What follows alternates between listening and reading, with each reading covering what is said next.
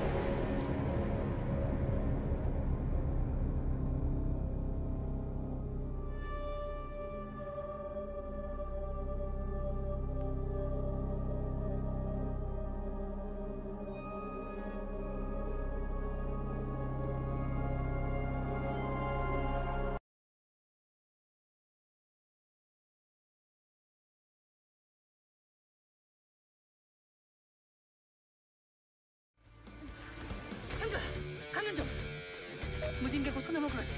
도난 사고 발생. 도난자 강현조. 국립공원 레인저다. 현재 무진기국 초입 15분 거리다.